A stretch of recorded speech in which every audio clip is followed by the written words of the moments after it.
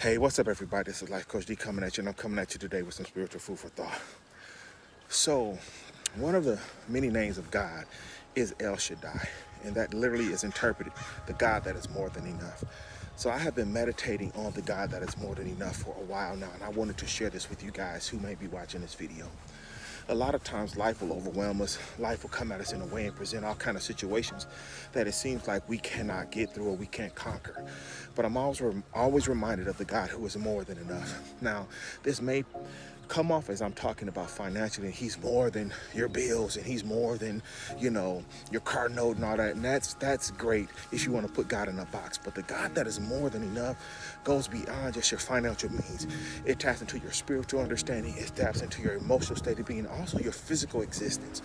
So my challenge for anybody who may be watching is to know that God is more than enough.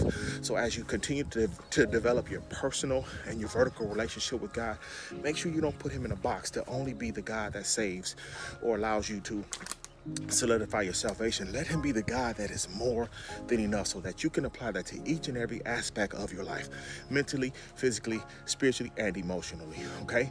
That is the encouragement that I have. So until you guys hear from me again, I want you to realize your lives are very valuable. Much love, God bless you, and peace be the journey.